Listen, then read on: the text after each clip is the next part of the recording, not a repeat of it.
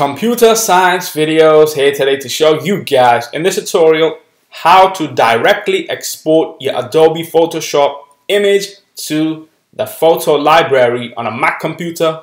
Without further ado, let us start the video. So in this tutorial, you need to have access to a Mac computer, Adobe Photoshop, an image that we have edited. So we can now go all the way down to the dock, go to Finder, navigate to my YouTube channel, videos, open up the folder that has the Photoshop file within.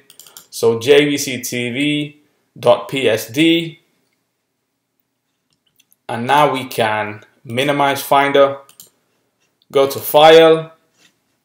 If we want to export, however, we can also go to the right hand top corner of Adobe Photoshop where we have the share button. Click on original and now we can add to photos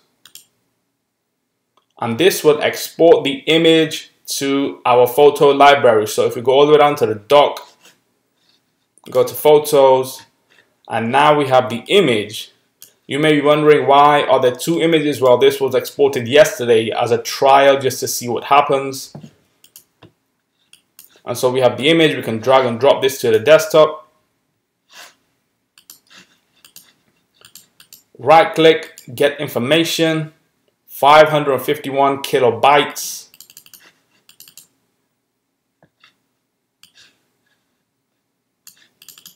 As you may have seen in the previous tutorials, that same image was exported with a high resolution 25 megabytes of file size. So we can quit preview, go back to Photoshop, quit Photoshop, that's it with this video. I'll see you guys in my next tutorial. Thanks for now.